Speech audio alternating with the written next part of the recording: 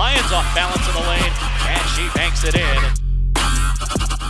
The Paddock right corner from Benoit, and she knocks down the triple.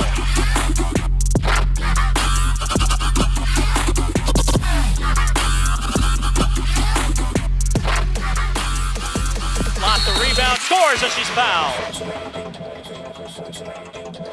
And still undefeated. For the first time in five years, they start 4 0.